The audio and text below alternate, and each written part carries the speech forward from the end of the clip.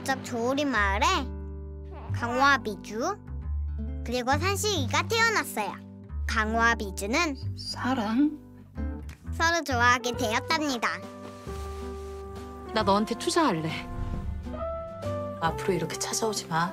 아무튼 자꾸 내 앞에 나타나지 마. 그럼 삼식이는?